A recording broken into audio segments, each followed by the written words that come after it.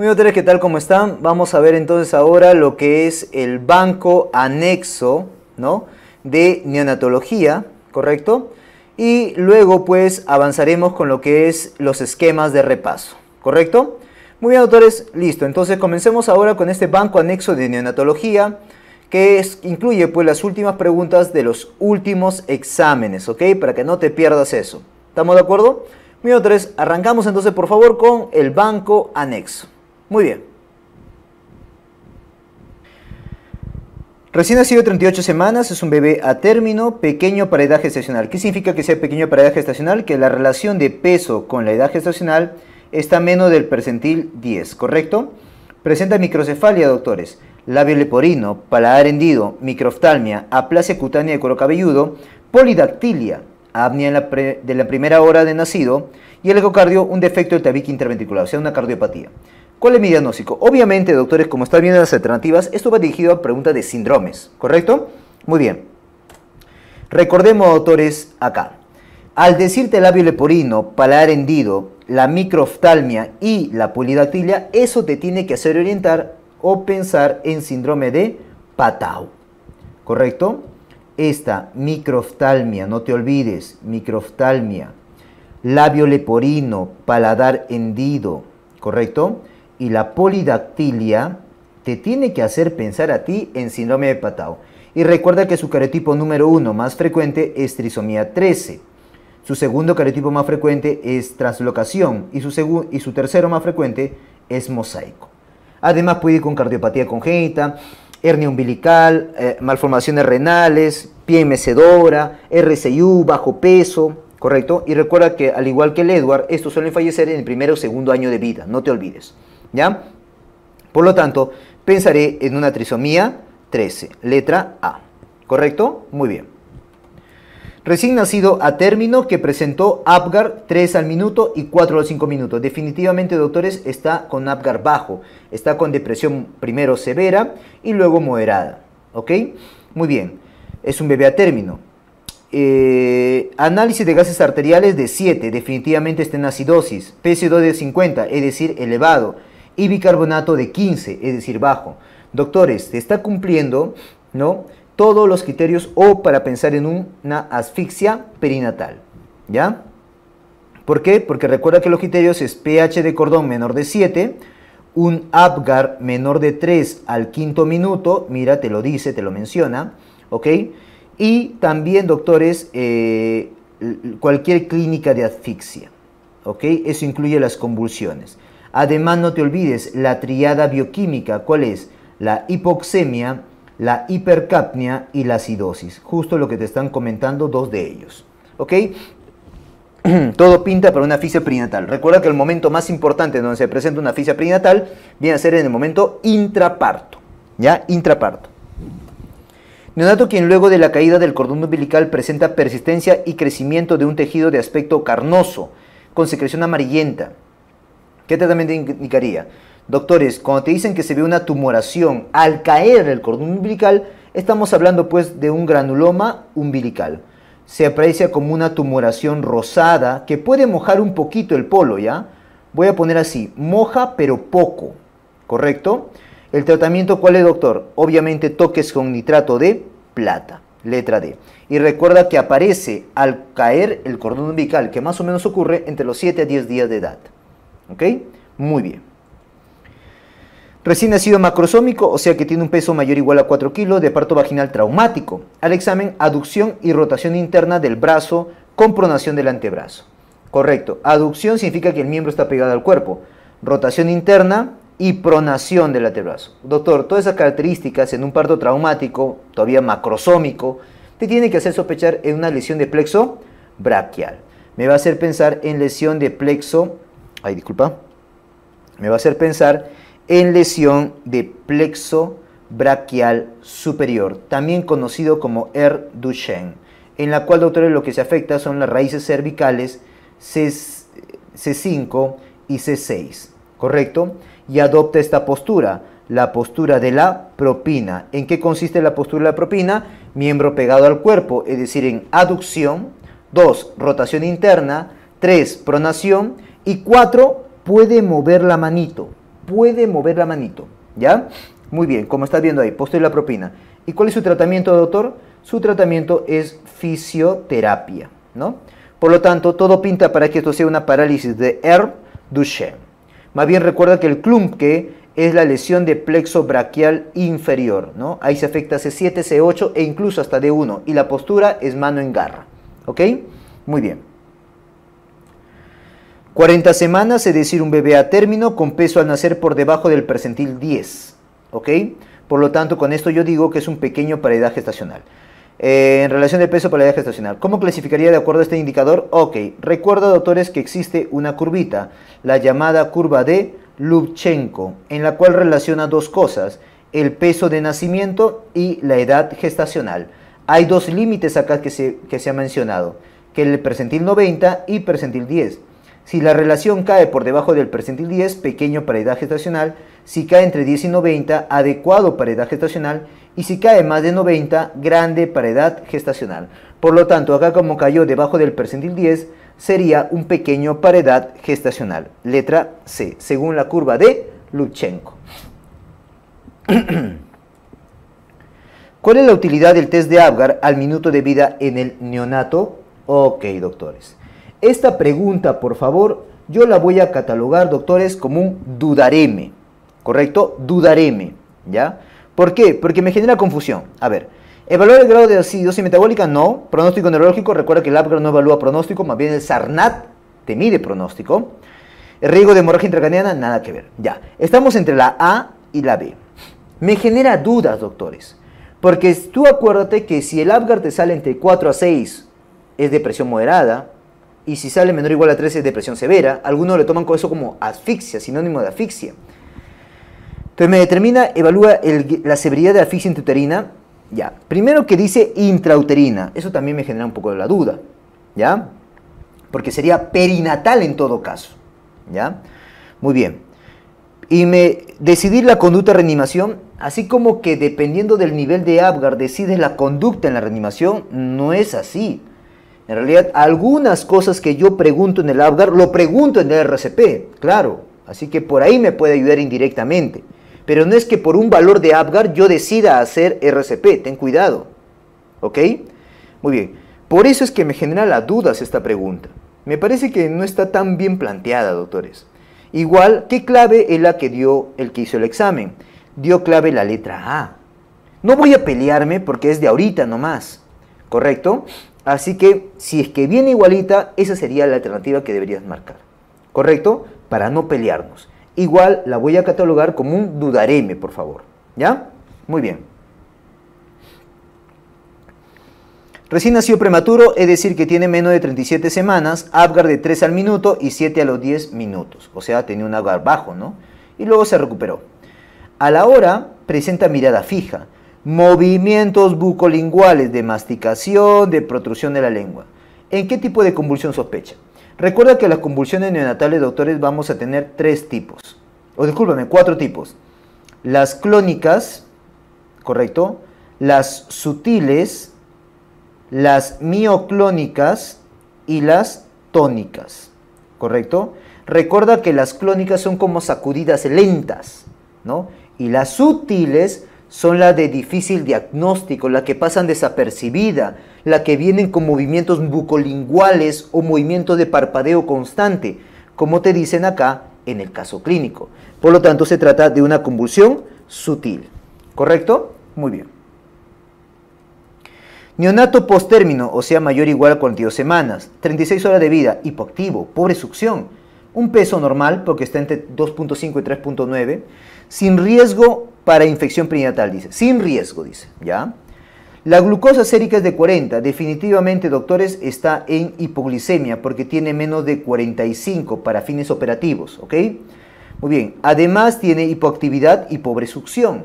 Por lo tanto, es una hipoglicemia sintomática. ¿Correcto? ¿Cuál es el manejo, doctor? Cuando es sintomática, el manejo incluye el minobolo, que es 12 c de dextrosa al 10% por kilo de peso. ¿correcto? Por minibolo. Ahora, si esos síntomas incluyen convulsiones, ahí le vas a dar el bolo completo, que es 4 cc de dextrosa al 10% por kilo de peso. ¿Ok? Muy bien. Ahora, recuerda, cada mililitro de destroza, datito, datito, cada mililitro de destroza al 10% tiene 100 miligramos de glucosa. Por lo tanto, acá sería 200 miligramos de glucosa por kilo de peso y acá sería 400 miligramos de glucosa por kilo de peso. Bueno, acá está convulsionando, no doctor, por lo tanto sería esto. 12 cc de destroza al 10% por kilo por minibolo. Entonces, ¿cuánto, cuánto pesa? 3.9, casi 4. 2 por 4, 8. Sería 8 de destroza al 10%. La clave la letra D. ¿Ok? Neonato de 34 semanas, es decir, un pretérmino, ¿no?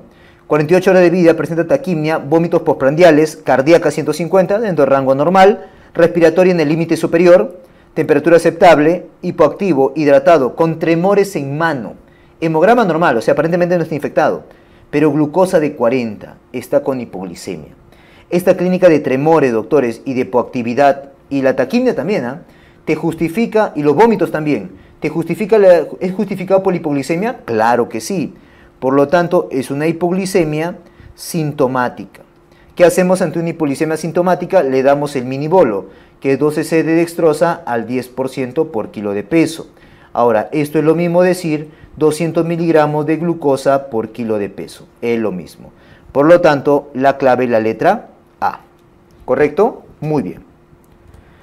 Una de las causas de ictericia de recién nacido es el escaso desarrollo de quién. Ok. Doctores, recuerden que una de las causas más frecuentes de ictericia es la ictericia fisiológica, la cual es multifactorial. Uno de esos factores es el pobre desarrollo esperable que tiene el hepatocito, principalmente la UGT, uridinglucuronitranferasa. ¿Ok? Muy bien, a la par tienes que recordar cuál es el metabolismo. Normalmente recuerda, doctores, que la, que la hemoglobina al romperse libera el grupo hemo y este se convierte en biliverdina y luego este se convierte en bilirrubina. ¿Correcto? Muy bien. Ahora, esta bilirrubina tiene que viajar acompañada de la albúmina. ¿Correcto? Muy bien, ahí está, junto a la albúmina en la sangre. Llega a los sinusoides hepáticos, ¿ok? Hepático, mejor dicho, pasa al hepatocito, este es el hepatocito, pasa al hepatocito y luego, gracias a las ligandinas, va a llegar al retículo endoplasmático liso. Y ahí está la UGT, el subtipo más frecuente, 1A1, la urodinglucoronil eh, transferasa, el tipo más importante, 1A1. Es gracias a este que se va a conjugar esta bilirrubina indirecta en bilirrubina directa, para luego salir, doctores, por los canalículos biliares. ¿Correcto? Muy bien, como bilirrubina conjugada. Perfecto. Entonces, una de las causas de la ictericia, doctores, es el pobre, la pobre... Eh, la pobre conjugación. ¿Y eso dónde ocurre? En el retículo endoplasmático litis. Entonces, el escaso desarrollo de quién? De retículo endoplasmático liso. La clave, la letra C. ¿Cuál condición con recuento de reticulocito normal produce ictericia neonatal por aumento de producción? Ok. Este, doctores, es ictericia, ¿no? Porque se está destruyendo más bien. Eferocitosis también es por destrucción. La policitemia es porque hay mucha formación de eritrocitos, ¿no es así? Recuerda que este se define por un hematocrito mayor de 65% o una hemoglobina más de 22 gramos por decilitro según el CIBEN. ¿Correcto? La Sociedad Iberoamericana de Neonatología. ¿Ya? Muy bien. Neonato de 14 días se llevó a emergencia por presentar ictericia marcada de piel y mucosa, 7 días de evolución. Activo, afebril, incremento de peso adecuado, buena succión, tono muscular normal, dice, ¿ya? O sea, aparentemente todo bien, ¿no? Ok, bilirrubina total elevada a predominio, voy a pensar, doctores, que es a predominio indirecto, ¿correcto? Indirecto, ¿ya? Y la hemoglobina está en 16, o sea, está aceptable, ¿no? Entre 15 y 20 es aceptable hemoglobina, ¿ya? Así que no hay hemólisis, no hay anemia, por lo tanto no sería incompatibilidad, ahí nomás ya voy descartando, ni RH, ¿ya? ¿Cuál es mi diagnóstico? Doctores, esta ictericia, ¿cuándo se está presentando? Dos semanas. ¿Y es monosintomática? Sí. ¿Quién es la monosintomática después de la primera semana? La ictericia por leche materna, la cual como tú sabes es por el alto consumo de leche materna y eso te lleva a aumentar la circulación enterohepática, ¿correcto? Muy bien. Además recuerda que esta en la clínica solamente va con ictericia nada más, o sea, es la monosintomática después de la primera semana. ¿Y el tratamiento cuál es? Simplemente continuar con la leche materna. No se contraindica, no se suspende, por favor, ni se intercala. ¿Ya? La clave sería ictericia por leche materna. Muy bien. Recién nacido pretérmino, ok, menor de 37 semanas, a las 12 horas de vida hipoactivo, con leve distrés respiratorio. Madre tuvo infección urinaria el último mes de gestación. Doctores, al decirme que tuvo infección urinaria en el último mes de gestación, es un factor de riesgo para infección. Y decirme que está hipoactivo con distrés respiratorio es sospecha de sepsis. Y esto es un riesgo de sepsis. Por lo tanto, todo pinta para que sea una sepsis neonatal. Y es más, al decir que tiene 12 horas, es un menor de 72 horas. Por lo tanto, es una temprana o precoz. ¿Correcto? Muy bien. Neonato de 36 horas, dificultad respiratoria, antecedente de rotura prematura de membranas, eso es factor de riesgo de sepsis. Temperatura de 38.5, irritable. Silverman Anderson de 6, significa que tiene una depresión moderada, ¿no? Cianosis eh, peribucal, eh, subcrepitantes en ambos campos pulmonares e infiltrados bilaterales en radiografía de tórax. ¿Cuál hallazgo afirmaría el diagnóstico? Obviamente yo estoy pensando en sepsis. ¿Estamos de acuerdo? Estoy pensando en sepsis. Probablemente por foco pulmonar, pero bueno, es una sepsis. Muy bien. ¿Cuál iría con sepsis? ¿Ya? Monocitos con linfocitosis, no, pues. ¿Eosinofilia? No. ¿Leucocitosis con neutrofilia? Correcto. ¿Leucocito normal con linfocitosis? No. Entonces, lo que más compatible es Dentro de estas alternativas es la letra D. ¿Ok? Pero acá en la pregunta, por si acaso dice, afirmaría el diagnóstico. Mejor clave hubiera sido hemocultivo, por si acaso positivo. Pero bueno, no había eso. Así que la mejor clave es la letra D. Recién nacido de 2 horas de madre sin control prenatal con RPM de 20 horas. Presenta intolerancia oral y distensión abdominal. ¿Cuál es el diagnóstico más probable, doctor? Ok, si no tiene controles prenatales y tiene RPM prolongado, estos son factores de riesgo para sepsis, doctores. ¿Ya? y tiene intolerancia oral clínica de sepsis, al igual que la distensión abdominal. Así que todo pinta para que esto sea una sepsis neonatal. Ahora, ¿por qué digo que es temprana? Porque tiene dos horas, es decir, antes de las 72 horas de vida. Por eso es temprana. ¿Ok? La clave sería la letra A. Recién nacido de 5 horas, RPM 18 horas, parto autóxico, Apgar 8, es decir, un Apgar adecuado. Edad gestacional por capurro de 39, significa que es una a término. El tener RPM 18 horas, por si acaso, ya es prolongado. ¿ah? bueno, más de 18 horas, ¿no? Bueno. Está febril, ya. Esto tómalo como factor de riesgo. Está con clínica de sepsis y débil succión. Es clínica de sepsis. El examen permitiría establecer el diagnóstico. ¿Cómo yo, yo establezco, confirmo? ¿Cuál es el gol estándar de elección? Hemocultivo. ¿Correcto? Hemocultivo, por favor. ¿Ok? Muy bien. Neonato de 10 días, 2 días de fiebre, pobre succión y somnolencia. Clínica, clínica, clínica de sepsis. Febril, clínica de sepsis. Respiratoria, rango normal. Cardíaca, límite superior. Irritable y fontanela bombada. ¿Qué examen realizaría para definir el diagnóstico, doctores? Como me dice acá, fontanela abombada, yo ya me voy a orientar a esta sepsis, parece que fuera foco eh, de meningitis. Así que mejor clave, ¿cuál sería? estudio de líquido cefalorraquídeo. Letra B. ¿Correcto? Y como tiene 10 días, doctores, yo pensaría muy importante, una meningitis que comienza o se presenta en la segunda semana, piensa por favor en listeria, datito, datito, meningitis en la segunda semana, piensa en listeria por favor, ¿ya? Listeria monocitógenes, ¿ok? Que es un cocobacilo gran positivo, ¿ya? Muy bien. Dos meses de edad, hijo de madre adolescente quien presentó un episodio de fiebre con erupción morbiliforme. Doctor, si una madre adolescente presentó erupción morbiliforme, ¿ok? Entonces eso hay que pensar en rubiola, ¿no? Fácil, pensar en rubiola. Al examen de lactantes, ¿qué se espera encontrar? Ok, la rubiola en el recién nacido, en el lactante, ¿qué generaría? La famosa tetrada de Gregg, que incluye cuatro cosas. Fácil, la microcefalia, la sordera neurosensorial, la catarata central y la cardiopatía congénita, la más probable PCA. Recuerda que su tratamiento no tiene tratamiento, ¿ok? Y recuerda que este virus de la rubiola es un virus ARN, ¿correcto? De la familia Togaviridae y en el género Rubivirus. Muy bien, ¿cuál sería la clave? Catarata, sordera, macrocefalia, cororetinitis. Cororetinitis no, porque se más pinta para toxoplasma. Macrocefalia igual, para toxoplasma. Sordera puede ser para toxoplasma, puede ser para citomegalovirus, ¿ya? Así que yo preferiré marcar catarata, que eso más me orienta para tetrada de Greg, ¿ok? Yo sé que acá hay sordera, yo lo sé, pero entre los dos voy a preferir marcar la letra A. Y es la clave que dan en los exámenes también, estoy de acuerdo, ¿ok? Dos meses, pretérmino, se mantuvo en ventilación mecánica invasiva durante 30 días. Wow, prolongado, ¿no? Actualmente requiere oxígeno. Ahorita, mira, ahorita ya tiene dos meses y está dependiente de oxígeno. Tuvo antecedente de ventilación mecánica prolongada. Doctores, ese antecedente de ventilación mecánica, de oxigenoterapia prolongada, de, de ser prematuro, y que ahora viene dependiente de oxígeno, viviendo con dificultad respiratoria, con desnutrición, con SOP y neumonía recurrentes. Todo eso es clínica de displasia broncopulmonar. Letra B. ¿Ok?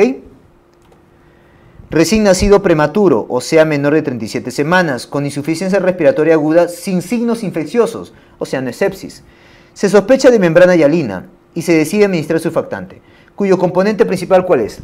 Ok, el componente principal, doctores, de la, del surfactante es el dipalmitoil fofatidil inositol colina.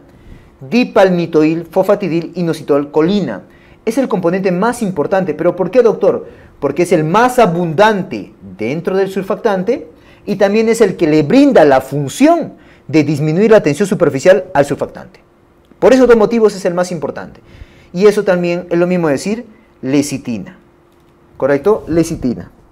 Muy bien.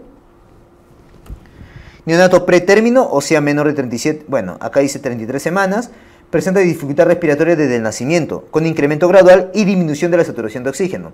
Tiene una placa con vidrio esmerilado. Doctores, todo pinta. Como es un menor de 34 semanas con dificultad respiratoria, obviamente yo pensaré en una enfermedad de membrana hialina, mi primera posibilidad. Y al decirme que tiene vidrio esmerilado, me está apoyando a que es una membrana hialina. Por lo tanto, la clave debe ser la letra D. ¿Correcto? La cual se debe obviamente a una poca cantidad de surfactante, haciendo que haya un aumento de la tensión superficial, llevándote al colapso pulmonar, con dificultad respiratoria severa, marcada. ¿Ok? Muy bien. 36 semanas, hijo de madre diabética, controles adecuados, desde su nacimiento presenta dificultad respiratoria severa, con ventilación que se encuentra en ventilación mecánica reflectores en vidrio esmerilado. Si bien por la edad te debe hacer pensar en taquimia transitoria de recién nacido, lo que tú encuentras al examen físico es, doctores, una dificultad respiratoria severa, lo cual no es de taquimia. Un uso de ventilación mecánica, eso no va con taquimia transitoria. Y el vidrio esmerilado es de, tampoco va con taquimia. Esto y esto y esto van con membrana hialina. Y el decirte que es hijo de madre diabética es un factor de riesgo para membrana hialina. Por lo tanto, todo pinta para membrana hialina. Yo en lo personal no hubiera puesto 36 semanas, hubiera puesto 34, 33 en el examen. Pero bueno, así está la pregunta. ¿Ok? Lo más frecuente, complicación inmediata de recién nacido muy bajo peso al nacer. Recuerda que muy bajo peso al nacer se define cuando tiene menos de 1.5 kilos, ¿correcto? Muy bien. ¿Cuáles doctores? Obviamente, este muy bajo peso al nacer se relaciona a prematuridad. ¿Estamos de acuerdo? Muy bien, por lo tanto, doctores, iría con insuficiencia respiratoria. Insuficiencia respiratoria. ¿Ok? Muy bien. Recién nacido prematuro de 29 semanas, pesa 950 gramos nada más, o sea, es un extremadamente eh, bajo peso al nacer. Se encuentra en ventilación mecánica, ante la posibilidad de hemorragia intracraniana, ¿en qué momento se debe solicitar la ecografía? Ok. Cuando te dicen hemorragia intracraniana, doctores, el tipo más frecuente es la hemorragia intraventricular. Aunque tú ya sabes que no es eso lo que sangra, sino que la sangre llega al, ventrículo, desde la matriz germinativa. Bueno, esta es la más frecuente. Ante eso, ¿qué hay que solicitar? Ante la sospecha, una ecografía transfontanelar. Ecografía transfontanelar, ¿correcto? Pero ¿cuándo es el mejor momento? después de los dos días, después de las 48 72 horas. Por lo tanto, ¿cuál sería la clave? Entre el día 3 y día 7. ¿Correcto? Porque ahí es donde se va a apreciar esta hemorragia. ¿Ya? Pasada las 48 72 horas. Muy bien. Producto de primera gestación, nacido de parto vaginal, Apgar 3 al minuto, definitivamente está bajo. entra en apnea con frecuencia de carga 90, está bajo, no se recupera con la aspiración ni con la estimulación táctil. ¿Cuál es la conducta a seguir? O sea, ya hice aspiración, ya hice estimulación, ya hice las maniobras iniciales y no está respondiendo. Está con frecuencia cardíaca menos de 100, está con apnea. Por lo tanto, doctores. ¿Qué tengo que hacer? En ese caso tengo que hacer ventilación a presión positiva. 2. Monitorización con la saturación de oxígeno. Y 3, que es un más menos, monitorización con EKG. ¿Correcto? ¿Cuál tengo acá? Masaje cardíaco todavía, todavía no. ¿Aportar oxígeno nada más? No, tengo que, podría dar oxígeno pero con ventilación. Adrenalina todavía. Sería ventilación a presión positiva. Recuerda que la monitorización de la saturación de oxígeno lo hago en mano muñeca derecha, es decir, en región preductal. ¿Ok? Y la monitorización de KG debes acordarte que es el mejor método para determinar la frecuencia cardíaca. No es el más práctico, pero es el mejor método. ¿Ya? Muy bien. Muy bien, doctores, listo. Hasta ahí lo que era entonces el banco anexo de neonatología. ¿Ok? Nos vamos a un break, ¿sí? Sí, nos vamos a un break, por favor. Listo, vamos.